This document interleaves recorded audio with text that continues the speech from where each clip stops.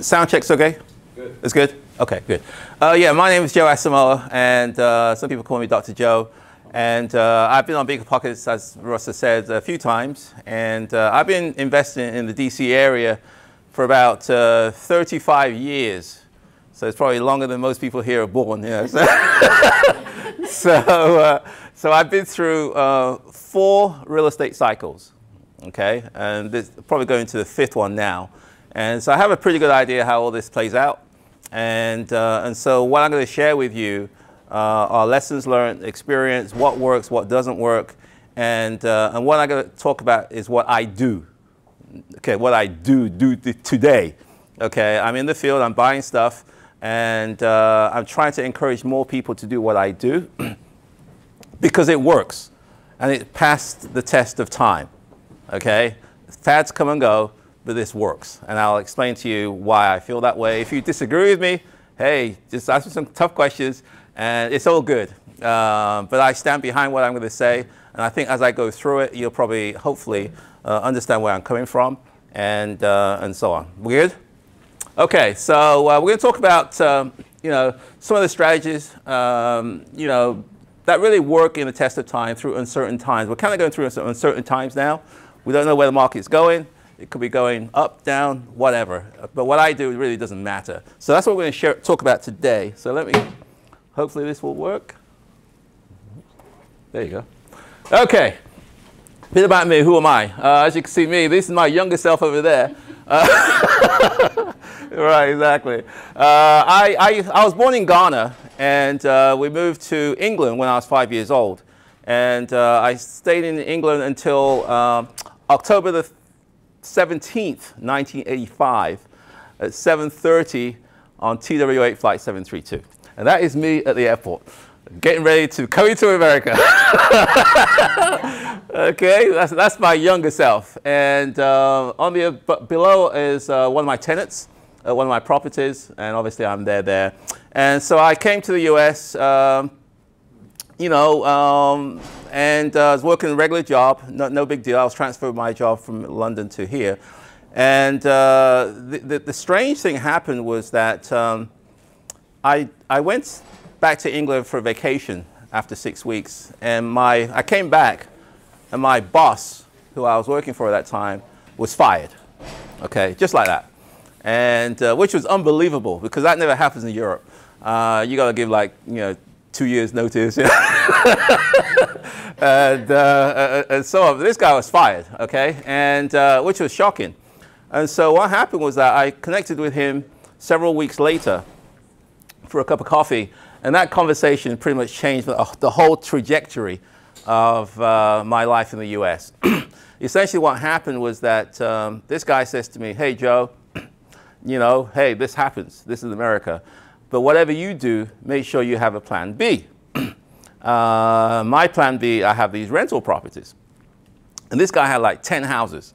And, and to me, at that time, I just couldn't fathom how, how, how is it possible to, I mean, I, you can figure out maybe one house, maybe two, 10. It's like, who does that?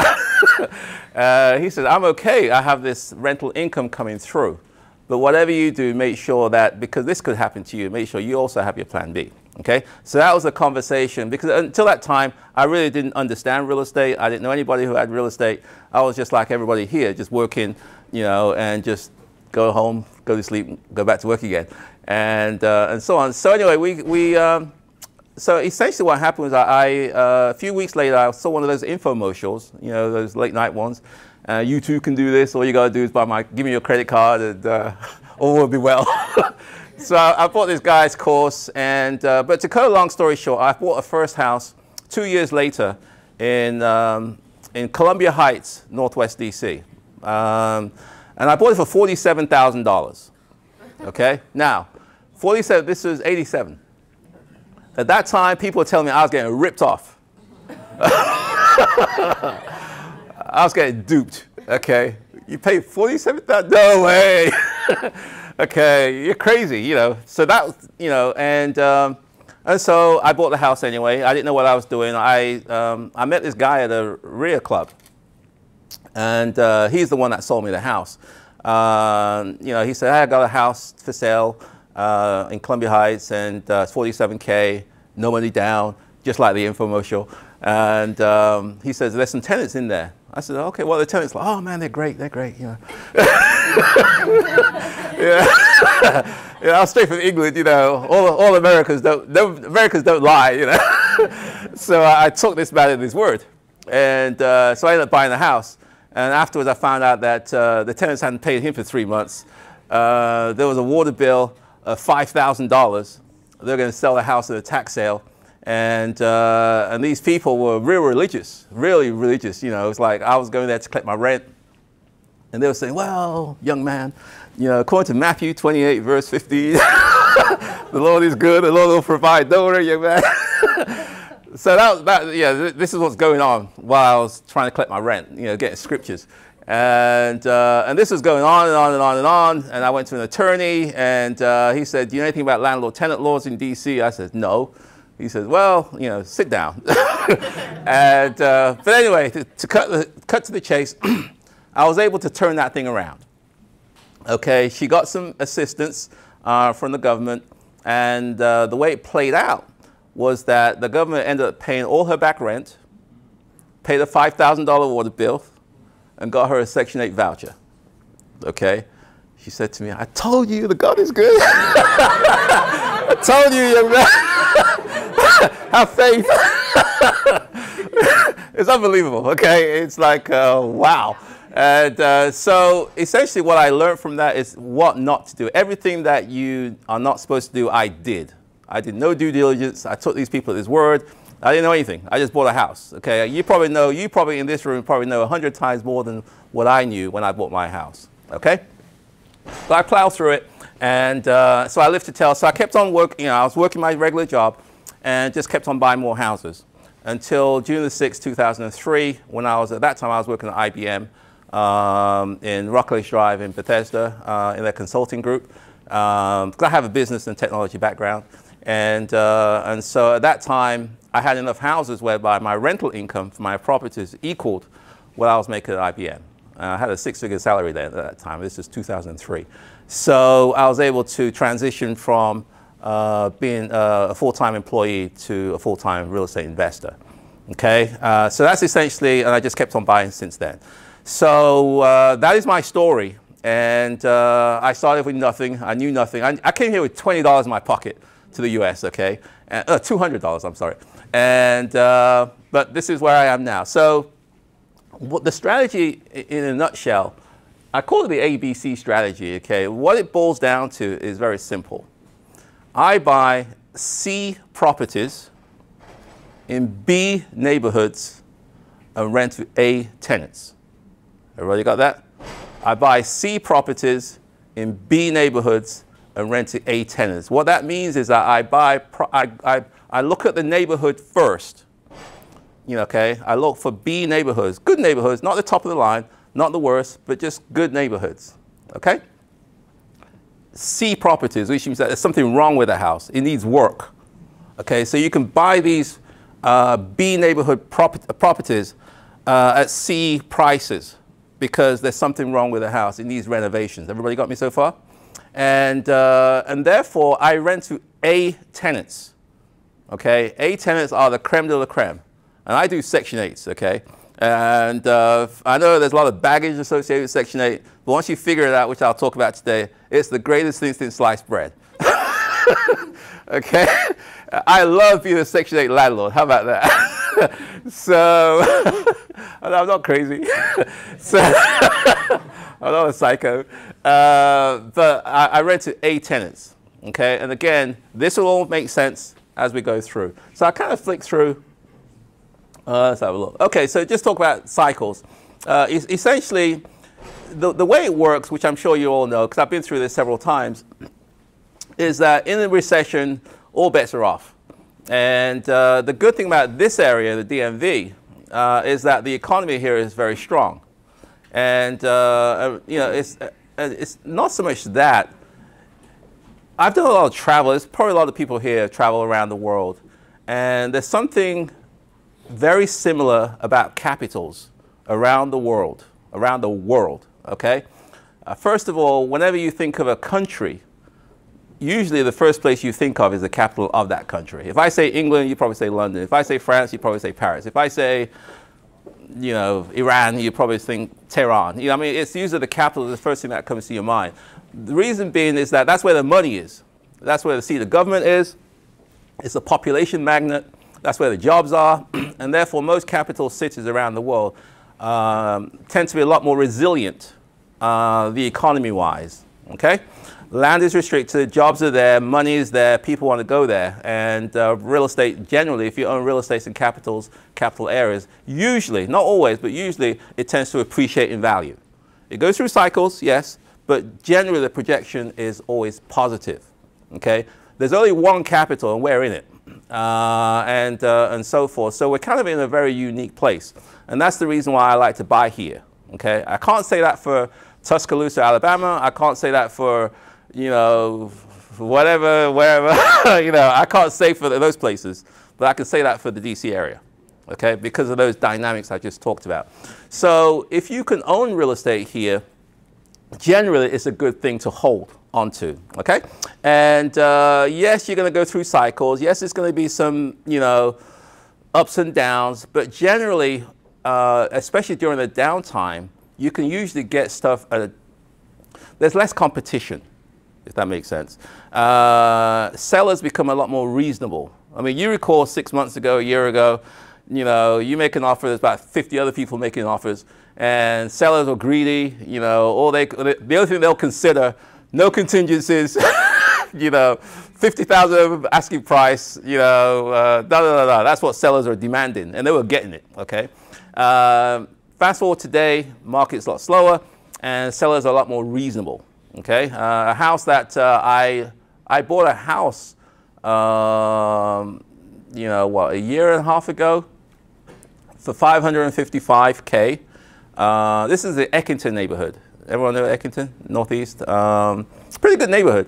And uh, there was a house that came up recently, uh, very close to there, and they were asking for five. I think it's sold. It's under contract now for about five, just over five. Okay uh, and so on. You know, so you know, these, are, these are good times to get in if you can get in, okay? So, but you need to avoid making rash decisions if possible. And uh, now is the time to learn. Now is, now is the time to sort of position yourself, uh, what I call to become bankable. Because if you're bankable, you can be able to take advantage of some of these opportunities that exist today, okay? Uh, if I'm talking, um, you know, too highfalutin, let just bring me down to earth. But I'm trying to, you know, uh, make it uh, as uh, realistic as possible. So I do the buy and hold strategy, okay?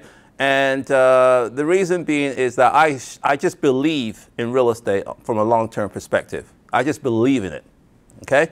Uh, especially in this area. I told you the first house I bought was 47K. Fast forward 10 years later, the same house was 150, 140, about 140 something thousand. 140,000, no way. Who's going to buy Columbia Heights for 140,000? Okay? no way. 10 years later, 350,000. No way. Who's going to live in Columbia Heights for 350,000? No way. 10 years later, it's 750,000. Whoa, who, who wants to pay $750,000 for Columbia Heights? It is what it is. I mean, it's always expensive. That's the thing about this area. It's always expensive. It's always, ex it's never cheap.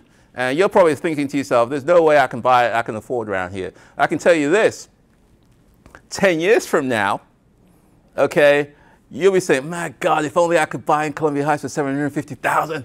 Oh, what was I thinking when I didn't buy that time? You see what I'm saying? It, because it's all relative. And, uh, and so the issue then becomes, well, how do you get in? Okay, how do you get in at these crazy prices? Okay, and that's what we're going to talk about today. Um, so I do the buy and hold because I, I, I, believe in this area. It's a bet. We don't know what's going to happen tomorrow. Uh, the market could tank, uh, you know, but historically, there is, I think according to the Federal Reserve uh, data, there has never been a, a seven-year stretch where prices haven't gone up in the DC area. Never. Okay? So it's just because of the, the, you know, the, the economy that we have here, very unique place. Okay, so the thing becomes, you know, the bottom line really is that during a, mark, a downturn, winging it, I just call it winging it, you know, sort of, well, like, like, what I did when I first started. I didn't know what I was doing. I just thought, of, you know, just did it. Uh, it doesn't always work. Okay, if you don't know what you're doing, you can you can you can get burnt pretty bad. Okay, uh, what you do need though are systems, the tools, the people, the processes, and the organization to make it work. And uh, and this is where I'm going to introduce the notion of the Section 8 here. Okay, um, in a market downturn, uh, I think when I was on BiggerPockets, I told you that story uh, of uh, I had a tenant, Section 8, who came to one of my houses where I lived. And she said, I'm not renting your house because it doesn't have a jacuzzi. Do you remember that story? Okay. And, and, anyone know what I'm talking about? Okay. Let me tell you what I'm talking about. Uh, uh, this was in the mid 90s. Uh, I don't know if you were around in the mid 90s in the DC area. This is when the Marion Barry got busted. Uh, the control board took over DC government. I don't know if people remember that time. DC was like down. it was going, I mean, it's like, uh, who the hell want to live here? And, uh, and, and, so on. We had a house up in uh, just off 13th Street Northwest. That's where I lived. And um, I came home one day. My next door neighbor was shot dead right in front of our house. And right in front of our house. And my wife said, we got to get the hell out of this place. and this is Columbia Heights, okay? And, um, and so, um, but I, I like DC, so I thought, let me just keep the house. So I kept that, we, I still own the house right now. And uh, so we fixed it up, put it out for rent. And um, I'll never forget the story. This lady came to look at the house. She had a voucher. And uh, she said, hmm, nice house, but I, I don't want to rent it. I says, why? This is a voucher holder, okay, with a net worth of zero. Uh, okay, she says, well, the house doesn't have a jacuzzi. You know, where's your stainless steel appliances? You know, what's, what's, why should I rent this house? I'm saying, what? you know, I was kind scratch, scratching my head. Uh, so, I mean, I didn't understand it at the time. I understand it now what was going on. What was going on was this. And she didn't, I'm sure she didn't take a, a PhD in macroeconomic theory, but essentially what was going on was that DC was going downhill. Okay, you had a lot of flippers who bought and uh, renovated their homes and uh, they couldn't sell it because the market had tanked. People were leaving. Okay, too much supply, not enough demand. Okay, so people were leaving, and therefore those people who, um, the flippers especially, the, the, they had the jacuzzis, they had the hardwood floors, they had all that stuff, okay? They had the assumption that they were going to sell it, but they couldn't sell it. So if you can't sell and they pay too much, you only got two options. You can either reduce the price or you can rent it, okay? Uh, or you can lose it, okay? And uh, so now I was competing with flippers who under normal circumstances I wouldn't compete with. Everybody follow me? Uh, because those jacuzzi guys would have sold their homes. But now they are renting it. So they're in direct competition with me. Okay? And the way the Section 8 program works is that the rent that the tenant pays is based on their income. Okay? So they can go to the jacuzzi house or go to my house. Their portion of the rent is the same. You follow me? So they could go to uh, a shooting dead neighborhood or they go to another neighborhood. The rent is the same. You follow me? So under those circumstances, I mean, common sense will you, you'll go to the best place you can get. Yeah? Uh, and so on. So they say, well, screw you. There's a house down the road that's got a jacuzzi.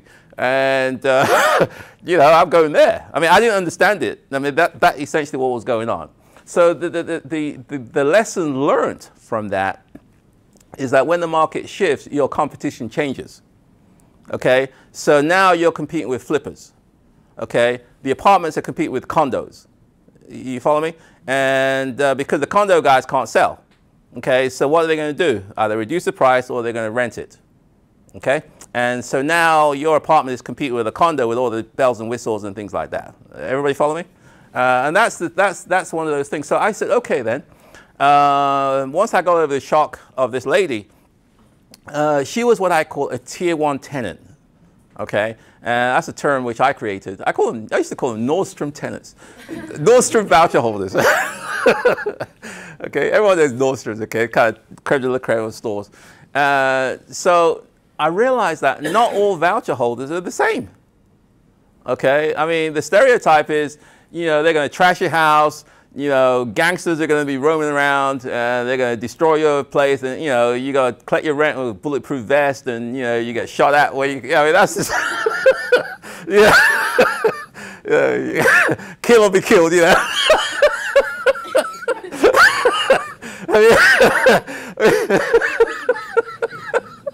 that's the kind of a stereotype, okay?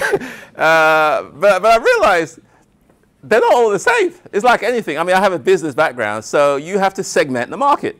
Uh, and I realized that there's this group of voucher holders, which I call tier one, the Nordstroms, who are completely different. They're just like you and I. They want the same thing that you and I want. You know, they don't want to be shot at no more than you want to be shot at. They want their kids to be in a nice area, just like you do. Uh, you know, you got standards, that they got standards, and they're not going to live anywhere. You're not going to live anywhere. I mean, they're just no different. The only difference is they don't have any money okay? And, uh, but the goals, aspirations for them, for themselves, for their families are no different than you and I, okay? And uh, if you can, uh, if you understand that, then you can create a whole business model around it, which is what I did, okay? I said, okay, then I'm gonna buy, I'm gonna focus on these people, these tier one Nordstrom tenants, about Section 8 holders. So I took the time to understand them, who they are, what they want, where they want to live, where they don't want to live, who they want to rent from, who they do want to rent from. I, I took the time to understand that, okay? And I said, okay, I'm going to start buying houses, fixing them up in such a way I can appeal to these people. Because if you can appeal to these folks, four things happen. One, they take care of your property. Two, they pay the rent. Three, they're pleasant to deal with. Four, uh, they stay a long time. And that fourth one is the absolute key, okay? Because if anyone here is a landlord, you get it. Turnover is the killer. It's a silent killer. Okay, it wipes out all your cash flow, all the profits that you make gets wiped out whenever you get a turnover. Okay, uh, so if you don't believe me, a typical turnover is going to cost you at least, what I mean by turnover is that you got to paint the place again, you got to clean it up again, you got to advertise again, there's no money coming in, and you still got a mortgage to pay, and so on. It's a silent killer. Okay, if you can't manage to that, you make zero money. No money. I don't care what the spread, the fancy spreadsheets say, uh, and all those, you know, all that other stuff that you read about. If you can't control turnover, you make no money. Okay, and so I had to figure a way to reduce turnover. Okay, and that's where this whole strategy comes in together. Okay, understand who you. I mean, it's a business concept. You understand who your customer is, uh, what they're looking for, and you provide a product that meets the needs of the customer. Okay, it's business 101. And uh, essentially, that's what uh, I try to do here. So, uh, is, is, everything, is it, am I good so far? Okay. So the, this, this, this voucher holder, and um, because this, okay, let me give you a story. This lady here, you see this one? This is Create Change. Okay, she's one of my tenants. Uh, this is a house up in Water Street, Northwest. Okay, I don't know if you know Water Street. It's near the Petworth Metro Station, Columbia Heights Metro Station. You know, Georgia Avenue in New Hampshire. Uh, it's around there. So I got a house up there she said to me, uh, I went to, uh, you know, just every so often I check in with my tenants. And uh, she said to me, Mr. Joseph, they don't call me Dr. Joe, they call me Mr. Joseph. Uh, Mr. Joseph, um, let me tell you something. She's been renting me for about uh, seven years. Okay? Uh, by living here, two of my kids have got full ride to go to college. Voucher holder. Okay? They got better schools, better neighbors, better surroundings, and uh, their outlook is completely different. Okay, just by living there. Okay? I mean, this is some serious stuff here, and, uh, and so on. So, my longest tenant is 26 years. 26 years. I have, uh, I spoke to one of my tenants this week She's been with me for 18 years. I have 12, 15, 8, 10 year tenants. This stuff works. People don't stay 15, 20 years paying rents of four, five, six thousand dollars. Okay? They don't do that with market renters. If you're a market renter, if you're paying 4,000 bucks, 5,000 bucks for rent, how long are you going to stay there? You can say, this is crazy. Let's go buy our own house. Okay? Uh, you're not going to find that here because they can't buy the house. Okay? It's not going to happen. And therefore, they, their perspective is different. They just want a place where their family can be safe, they can be a part of the community, uh, they want a good landlord, and so forth. Okay? It's a different perspective altogether. And that's how you, her rent of that house in Water Street is, I don't know, I think it's like $550. Okay? The total rent is just under $6,000. Okay? $6,000, $1,000, okay? Okay? And her portion is just over 500 bucks. Okay? So let me ask you this question then. If you lived in a $800, $900,000 neighborhood, okay, and you were paying $500 to live there, how long will you stay? Okay? Is this making sense? Okay? Turnover is your killer. You just told me you're going to stay there forever. okay, so how much turnover am I going to get? None. Her kids have got full right to go to college. Do you think she wants to leave? Okay. Uh, do you think she's going to trash my house and get evicted? Do you think that she's eternally grateful for the opportunity that she's been given? You, you get this now? Okay. This is the concept which I'm trying to convey here is that, you know, once you get through the, the you know, the sort of the, the baggage of Section 8, there's a business opportunity uh, once you understand it. You know, we're, we're business people, okay? We're investors. We are buying houses.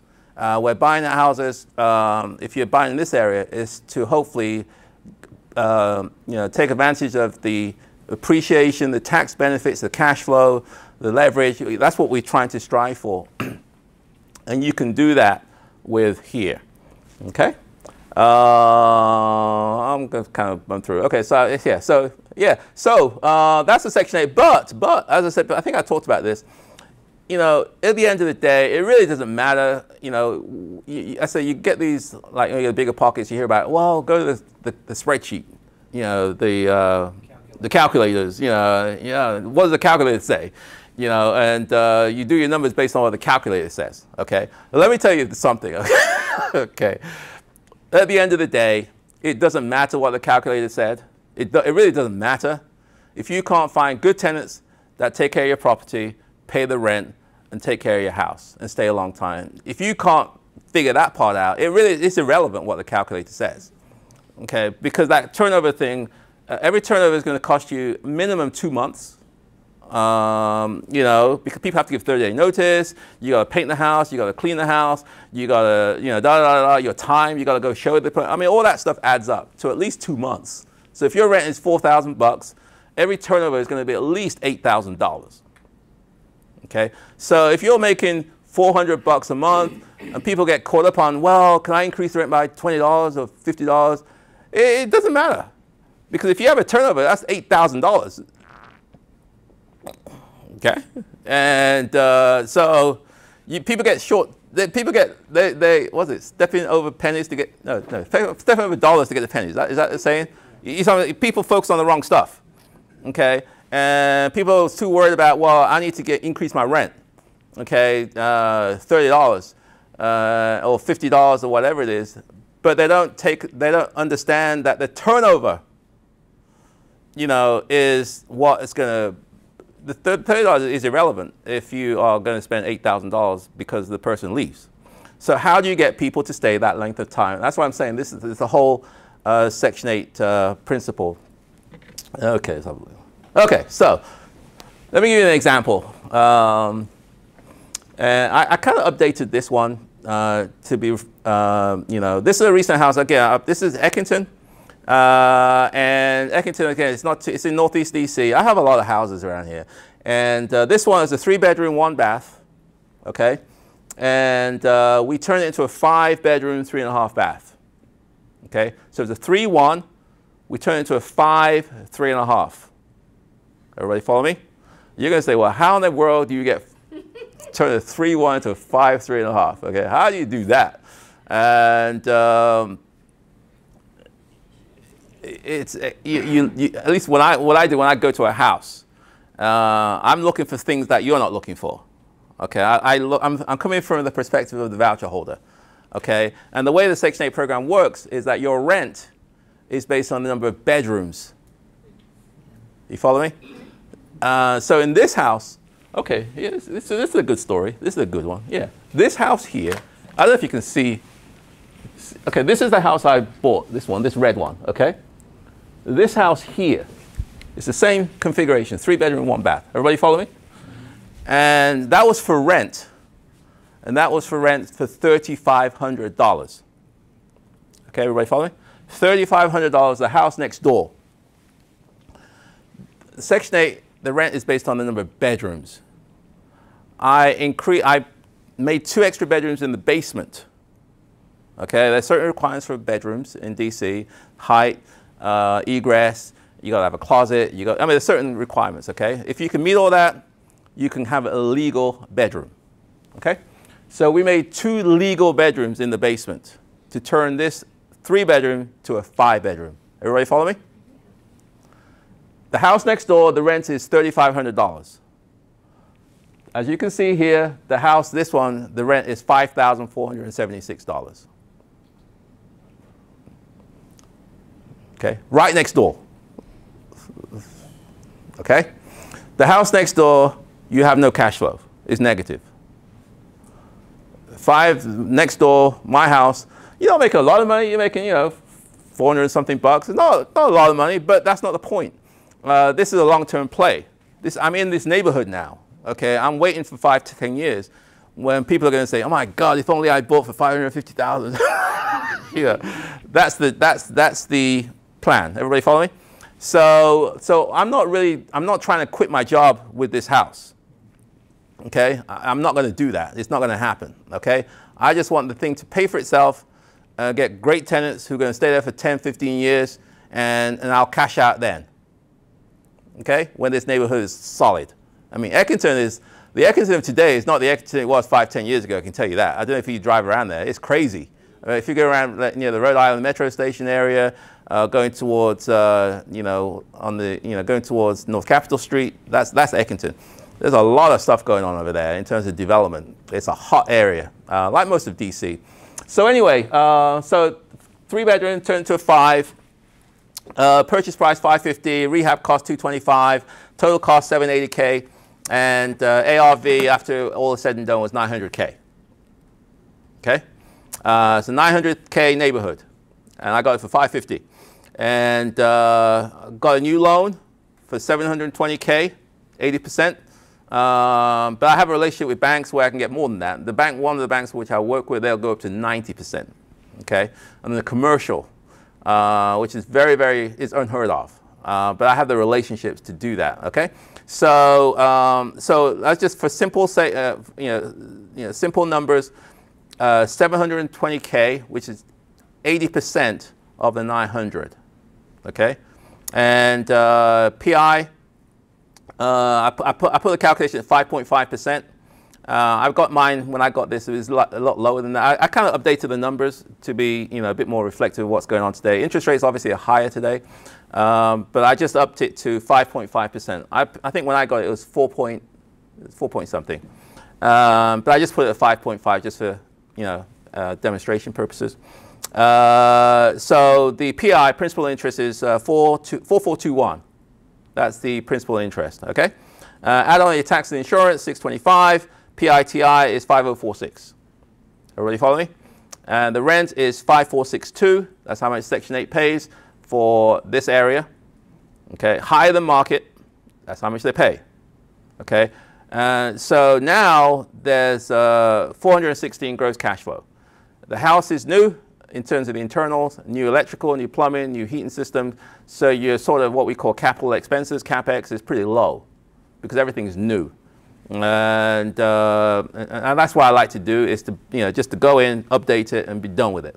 And uh, the tenant there is, uh, I'm not going to tell you how much she pays because you'll be, you'll be horrified.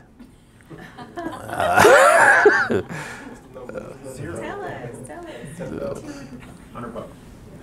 She pays $145.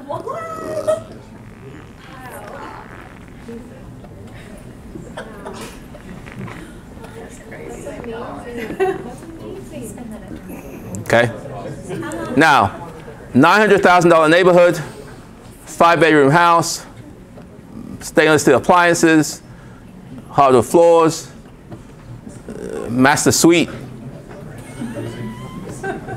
$145. How long are you going to be there for? jacuzzi. No jacuzzi, no, no, no jacuzzi. uh, I'm sorry. no, I, didn't, I, didn't, I, didn't, I, didn't, I didn't put the jacuzzi in there. I'm sorry? Uh, the rehab, uh, it took about uh, four months, three and a half to four months uh, to, to do this. And uh, I'm sorry. Yeah. Um, the, the tenants that you have, mm -hmm. in your experience, is this their first time experiencing um, this kind of, uh, you know, living versus are there people that this is their second go around in this kind of experience, or, or okay. most of them uh, this is the first time that they're getting a landlord like you and, and, sure. and an opportunity like this. Sure. Okay. This is uh, this is the the crux. of. it's a good question. This is the crux of this business model. Okay. Most Section 8 landlords have got crappy houses in crappy neighborhoods, and they're crappy landlords. Okay. So these tier one tenants, they're used to crappy houses in crappy neighborhoods with crappy landlords. Okay? Because most landlords with good houses in good neighborhoods, when they hear the word Section 8, it's like, uh, uh, uh, uh, uh I gotta do what I gotta do not to rent to this Section 8 because they're gonna trash my house, they're gonna, so on, okay? And, and so, as I said before, there's some good people there. They're just looking for an opportunity, but their choices are limited to crappy houses and crappy neighborhoods with crappy landlords. So if you, so if everyone's playing here, I'm playing here, okay? And I stage my homes, as you can see here, if you look at the bottom. And nobody stages their homes. Uh, so they come into my home. It's like, what? I mean, I, I, I would have no problem living there myself. Okay, no problem living there myself, okay? And they come to these homes and uh, they're saying, you take Section 8? And, uh, okay, let me give you another story.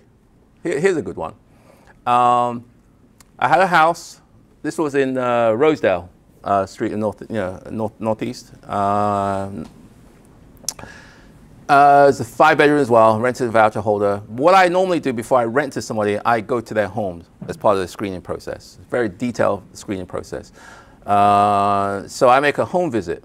The reason being that uh, how someone keeps their house today is how my house is going to be in three months. Okay, I don't care what anybody says. And uh, you can't tell if someone's going to be a good tenant just because they got a nice car or they got a good job or they wear nice clothes. You can't tell at all. Okay, the only way to know, well, the best way to know is to go to their home now. Okay, so I went to this lady's home. She lives in Congress Heights in Southeast. And, uh, and I went there. It's a pretty rough part of town, pretty rough. And uh, so I went there and, you know, went to her home, and she says, Mr. Joseph, don't judge me by what's outside, because I can't control that. Okay? Judge me by what's inside my house. And her house is immaculate, spotless, the kids are well behaved, and she says to me, Mr. Joseph, every day, the biggest concern I have every single day, okay, is my kids won't come home from school because they're going to get shot and killed every single day. That's what's on her mind. Now, you guys are worried about if I go to Starbucks, my ice is too cold or it's too hot. you know, or, you know, or it's too, you know, it's too much sugar in the coffee. She's worried about her kids getting killed. okay. Uh, she said, if you give me a chance, you give me a chance to rent your house, I promise you, I promise you, absolutely promise you, you'll never regret it. Okay. This is what we're dealing with. Okay. Uh, these are tier one tenants who are not given chances. And when you provide that opportunity, I mean, I get 10, 15 applications, uh, you know, uh, on these, these, this house. You know, you can raise the bar in terms of your screening. You want to come to my house? Sure, no problem. Let's go. Because my house is just like this. They're not intimidated by that. Okay, this is you know it, it, you probably don't believe me, but you know hopefully you do because this is this is what it is, uh, and uh, so you can raise the bar, and you don't have to set the bar low because, and I've been through downturns where you have a house and nobody comes to see it, or no applications. You know, I mean that's a that's another side of this stuff. You know, where you got to give away you know, free toasters to get an application. Been there, done that. Okay. okay. It's rough, you know, when you got a house and nobody wants to rent it, and you got a mortgage coming due. Okay. And that's when you say, well, you know, somebody shows up, you know, uh, how much is the rent? 3,000 bucks. Okay, 3,000. It's 100, 200. Can I move it down? you know, uh, you know, uh, that, that 3,000 looks real real tempted, you know, when you got a mortgage due tomorrow and uh, you got no applications. Uh, so you're going to have to lower your screening standards just to get somebody in there. And that's, that's the start of all the problems, especially in DC where it's hard to get rid of people uh, and so on. So, so essentially that's what's this. So this is a, a typical scenario. Yeah, yeah. So this is, uh, yeah, so I put a new loan for 720, okay, to pay off most of the original, uh, you know, what I, so I buy a house, I go to a bank for the acquisition and also for the renovation. Everybody got me? And, uh, and then, uh, so I factor in how much I can get from the bank uh, on the, this is a classic BRRRR, uh, you know, on the acquisition, the renovation, and then whatever, what I do is uh, there's three forms of financing I use. There's the bank financing. Uh, I have some private investors, people that know me and trust me, and they borrow me money. You know, I mean, people are tired of 0.1% of the bank.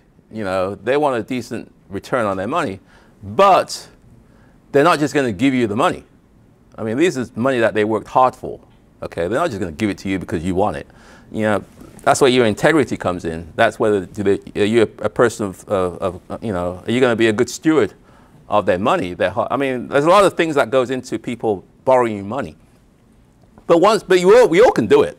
And, uh, but if you can tap into the private money, then, uh, you know, which is what I, I've, I've done, then that pays another portion of the money. And then I top up the difference of my personal money. So it's really like three levels of financing for each of these deals. There's bank money. I go with banks uh, because bank money is cheaper, you know, and, uh, and banks have a lot of money, you know, and uh, as long as you meet their criteria, and once you understand their criteria, then you can you know, go with that. If you can't, then you go with hard money. Uh, you got to do what you got to do to get the money. Uh, but uh, I try to go to the cheapest source of money. And the cheapest source of money are banks. And, but there's nothing wrong with hard money and so forth. You have to go where you, you know, if you can't qualify for bank financing, but can only just get for hard money, then so be it. Be, but you got to start and, uh, and so on. I'm sorry, is a question? Oh, yes. When you put the two bedrooms in the basement, did you have to dig under to do the, the renovations? And how long was the, the uh, did you do a permit for that? Yeah, this is, I didn't dig on this one. Oh. Uh, I've dug in houses before, but this one I didn't dig. Uh, the ceiling was, was, was, was high enough. Uh, all the houses I do, everything's permitted. Uh, so you got to go to, typically there's uh, at least four or five permits. There's got electrical, building, plumbing, mechanical, you have a demo as well. Okay, so everything has to go through that whole process, inspections and so forth. It's, it's, everything's above board. You know, we don't, I mean, I try the other way, you know, kind of keep it, you know, close the windows. yeah, yeah, you know. keep down the noise. I tried that one. it's not sustainable, you know. You know, every, every now and then you get a neighbor who doesn't like you. Uh, so the first thing I do when I go to an area, a house, I, I go to the neighbors and bring them gifts, you know. that usually kind of, uh, you know, but I still get permits anyway. So, uh, but it's good to, um, you know, be in good terms with your neighbors and so on. Yeah, everything is permitted, yes. Okay, so you just, so you, you put the two bedrooms in the basement? Mm-hmm. Two bedrooms, a bathroom in the basement. And uh, upstairs we have a living room, dining room, kitchen, and a powder room. Upstairs we have, sorry, on the first floor. Second floor, we have three bedrooms, two bathrooms. There's a master bedroom uh, with its own private bathroom, and there's two other bedrooms, another bathroom upstairs. And there are two bedrooms and the bathroom in the basement. Okay? And uh, that's what we do. Okay? And uh, it's, it's, it's, if you got good contractors, and you have good, because contractors are, are, you know, I mean, we can all, I'm sure, have contractor stories. Uh, I gosh, okay. hey about guys who show up drunk? Okay. Uh, there's this guy who showed up, you know, we're supposed to be at 9 o'clock, okay? Uh, 9 o'clock comes, he's not there. 9.30, he's not there. You know, 10 o'clock, he's not there. So, you know, so I go to his house. He was sleeping, you know. He says, I said, what's going on? We're supposed to be at 9 o'clock. It's 11 o'clock now. He says, oh, the cat knocked over the alarm clock. So, uh, that's the reason why I'm late. yeah, yeah, all kinds of stories. guys who don't have a car, so you got to pick them up. You know, you got to you know, trade the toilet out Home Depot, you know. Because they don't have a car, you got to come back at night time to take them home. oh, I've been there, done that. you don't want to do that. Uh, but when you get good tenants, oh, it's a blessing it makes it so much easier. I've used the same guys for the last eight years and uh, same people. It's, it's great. You know, you don't have to worry about it. Things are moving and, uh, and so on. So these are all the, you know, again, these are experiences. It didn't happen overnight. It took time, uh, but it works, you know, and, uh, and so on. So uh, that's just kind of, I don't know, uh, how, how much time have I got? Eight o'clock? About do 10 more minutes and then you go to the Q&A. Okay, 10 minutes. Okay, I'll try and wrap it up in 10 minutes then. Or 15, yeah. Okay. Okay. Okay. Is this okay? So everything's okay so far? Everyone's following me where I'm going? And, uh, and so on. So, you know, so kind of moving into the now what? Okay? And I think it's the next steps. You know, um, it's scary to, to, to do this. It's scary to buy a house. It's very intimidating, uh, you know, especially if you're just starting out because you don't know anybody, you haven't got the right tools in place, you know, you're scared of getting ripped off. I got ripped off my first house by that, you know, that investor, you know, who I believed didn't lie. I, I got duped big time, okay? I was straight off the boat, you know. and uh, yeah, hey, uh, it's scary, but you know, uh, but but still, okay, you have to take action. Otherwise, you won't do anything. You know, and then you'll be looking back two years from now, five years from now. You know, uh, it's too expensive now. I can't do it. Okay, then you wait another five years. It's too expensive now. I can't do it. You, you see what I'm saying? At some point, you have to say, "This is what I'm going to do." I want to make this thing work. I believe in real estate, um, you know, and I believe that real estate is a vehicle that can build wealth. Uh, it's a vehicle that uh, can allow me to get financial independence. It's a vehicle whereby, um, yeah, for the first house I bought, the, the one, the forty-seven thousand dollar. At that time, after all is said and done, my cash flow was fifty dollars.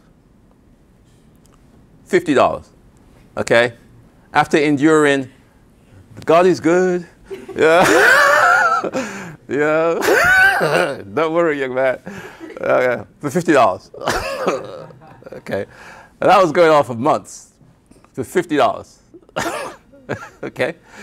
Anybody will probably say, why, why are you doing that? Why did you buy that? Are you crazy for $50? Okay? The house on that block can now go for 800,000. Okay?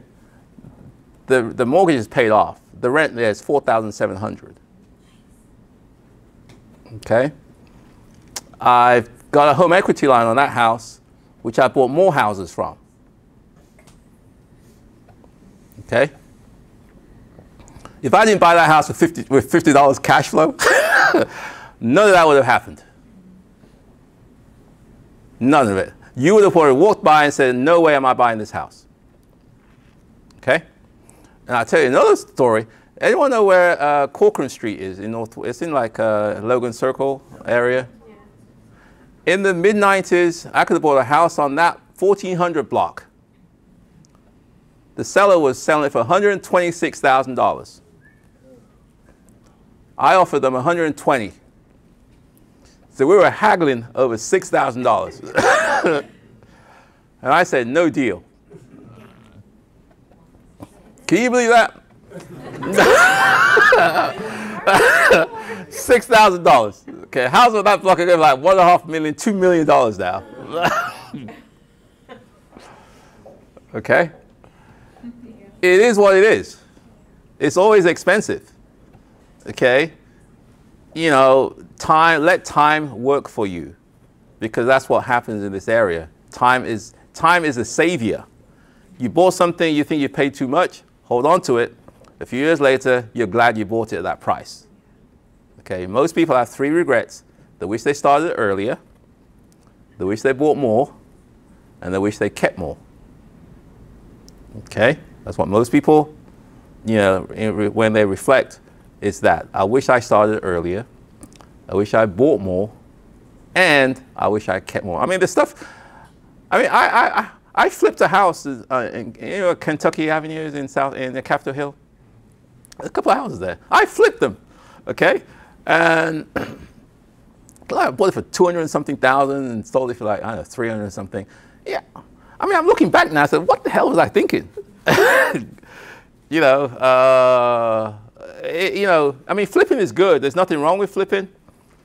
But after you cut through the chase, after you pay your taxes and go through all the, the rituals you have to go through, you make a few bucks, but you're going to spend the money and then you have nothing to show for it. You know, five, ten years from now, okay? You don't. Uh, whereas if you hold on to this stuff, you have something tangible, something physical, uh, something that uh, can build wealth, okay? And if you can find quality tenants who are going to take care of your house, pay the rent, pleasant to deal with and stay a long time if you can do that. And I'm, my, my, my, my, my suggestion is that Section 8 allows you to do that once you get rid of all the baggage associated with that program. There's a lot of good people there and, uh, and so on. So I, I, primarily focus on four, five, and six bedroom houses. Uh, so I take, and there are only four, five, and six bedroom houses generally in DC. Most houses in DC are three bedrooms. But there are people with four, five, and six bedroom vouchers. Okay? So those people, the demand is there. The supply is just not there. Okay? Because most houses in DC don't exist as four, five, and six. Somebody has to create them. Okay? And that's what we do here. We create these, these, these properties that don't exist. Okay? We turn an asset that is um, negative cash flow potentially or break even into positive cash flow.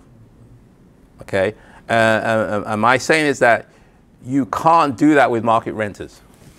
Not having 5, 10, 15 year tenants. It, it, you just don't do it. It's not going to happen because no, none of you, I think, would pay four or five thousand dollars for 15 years rent.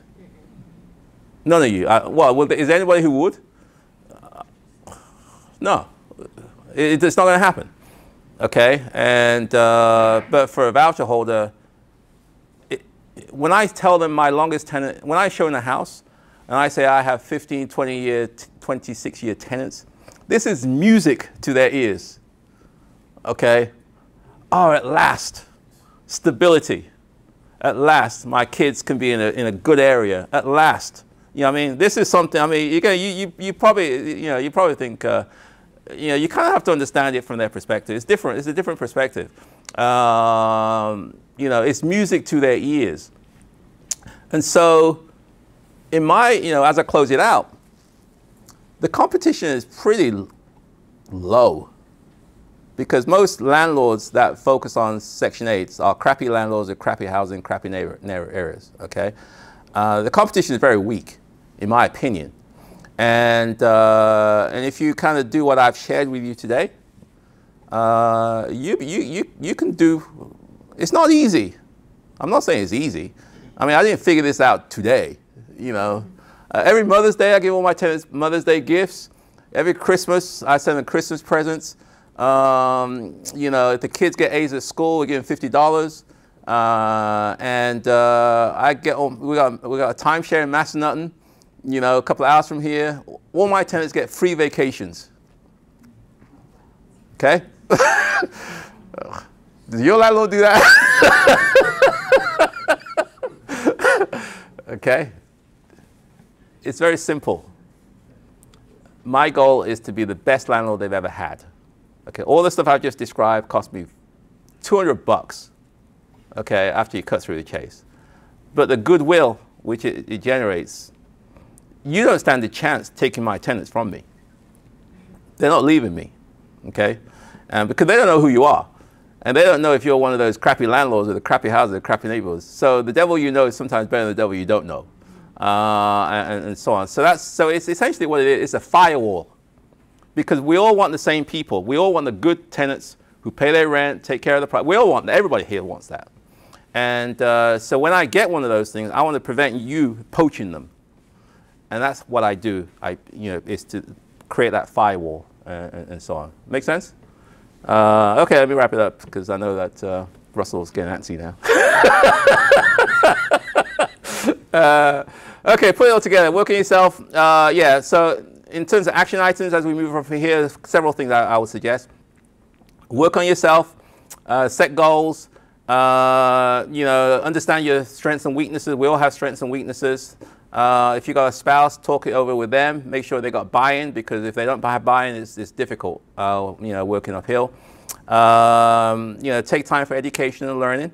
Uh, decide on which method of focus you want to go on. There's lots of different segments in real estate. You've got uh, buy and hold. You got wholesaling. You got fix and flip. You got you know whatever. There's lots of different you know niches. You can't do them all. Pick one and focus on that. Okay, I picked the buy and hold. Okay, and that's my thing. I'm not into da da da da da. I don't get you know into those sort of shiny object syndrome where I, you know today I'm doing this, tomorrow I'm doing that. You know, you end up not doing anything. Uh, so pick one. Learn the basics. You don't need to know it all, otherwise you'll have that paralysis analysis, whatever they say. You won't do anything because you're always saying, "Well, I just need to learn a bit more." You know, uh, there's no, you, you can never learn enough.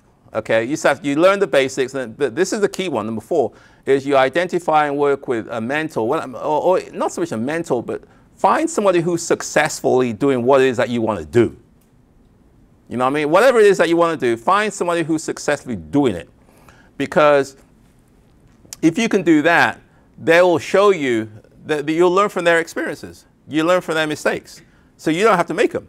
You know, uh, it's a faster way to get to where you want to go to rather than trying to figure it out yourself because you can't.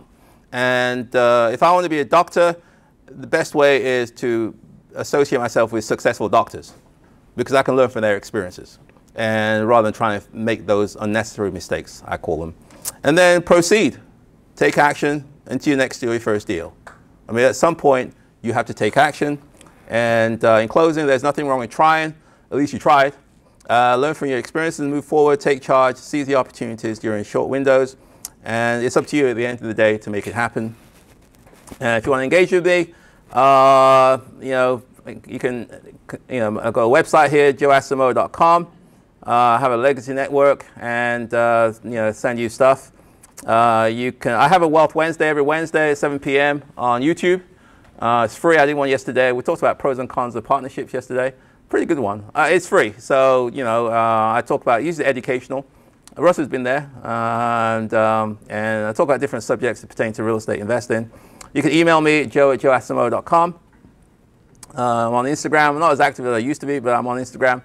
And uh, if you're serious though, if you're serious and would like to one-on-one uh, with me, you can apply. I'm, I'm, creating this thing called a JV Wealth Builders Program. I, this is something new for me, and it's going to be invitation only. That's it. Okay. Now, essentially, what it is. Um, yeah. Okay. So essentially, what it is is that um, I, I, used to have a, another JV program where I teach. I give people the chance to look over my shoulders as I did a deal, and that was quite successful. Uh, we'll have 15 to 20 people join, but the reality is that out of 15 or 20, only three, four, or five actually pull the trigger and do a deal. Okay? Uh, I mean, that's just the, the, the, way it is. A lot of people want to do it, but don't do it. They just gather information and don't do anything. Okay?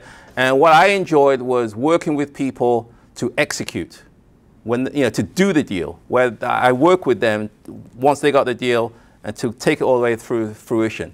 And I really enjoy that. And so that's what this program is all about, is that uh, you know, essentially what it is is that uh, I'm going to provide, you, you, can leverage my experiences, my network, my systems, my uh, experiences uh, for 25 years where I'll help you find the deal. We've got relationships with real estate agents and brokers. Uh, will help you renovate the project, my relationship with my contractors, um, you know, relationship with uh, getting tenants, my relationship with DC Housing Authority and navigating all that whole process and also my relationship with financial institutions to get the money to get the refinance. I told you about getting 90% return, 90% uh, uh you know, what's it called, on the refi, so you can pull up most of your money out. Uh, that's with one of the local banks that I work with. So I mean, I have all those relationships, those experiences, and, and, and so the idea is that this wealth building program is whereby I work with you. We'll, we'll, we'll get you a deal. Uh, we'll help you get the financing. We'll help you get the, do the rehab uh, will help you get a tenant. Uh, I mean, all of that. It's one-on-one. It's not like the other way. This is, this is, the goal here is to execute, is to do the, do the deal, pull the trigger, okay? Not just talk about it, but pull the trigger, because at the end of the day, that's what we need to do. I don't think there's anything like this over here. Uh, I'm only interested in doing, I'm not interested in doing, I, I mean, I, there's only going to be a handful of people, that's it, maybe four or five it's not one of those mass marketing things. I'm just not, I, I don't, I'm not interested in that. I, I, enjoy my life. I enjoy traveling. I go to Ghana in a couple of weeks. Uh, go to three countries this year. And, but I do enjoy helping people execute. I really enjoy the fact that um, I can say to somebody, I'll say to my mother, my mother, oh, yeah, he's getting restless. okay, if you're interested, uh, what's it called? Uh, you know, the idea is that you do deals like what I showed you, and uh, what's it called? Um, the Eckington deal. That's the kind of stuff we do, where you get you know $150,000 equity on day one. You got cash flow on day one, okay? And you got an asset where you got a tenant who's going to be uh, with you hopefully 5, 10, 15, 20 years. This is what, this is what the program's all about. Uh, it takes it into, from the theory to the real world, and I'm really excited by it. Uh, I haven't, we haven't yet got it finalized, but uh, what's it called? Uh, hopefully we'll be rolling it out very shortly. If you're interested, uh, text me your name, your first name, your last name, uh, your email address, and also your phone number. Okay?